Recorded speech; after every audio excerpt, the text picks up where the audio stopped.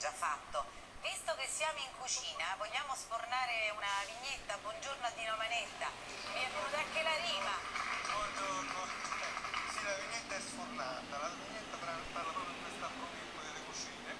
C'è un signore con- dentro casa con una pentola in mano che dice ma e, e questa che sarebbe? L'operaio che se ne va dice l'anticipo di cucina.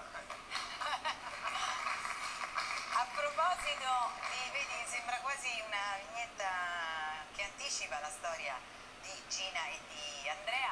Oggi torno al centro studio dove trovo il professor Ugo Ruffolo, ma voglio sapere da Dino se ti ho visto che disegnavi, se hai una vignetta per noi, Beh. magari su, su che cosa ce l'hai, Sul sull'evasione. tema, sul tema dell'evasione, un classico, insomma.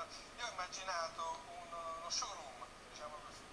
C'è un signore che sfila in passerella vestito da barbone e la voce fuori campo che declama modello 7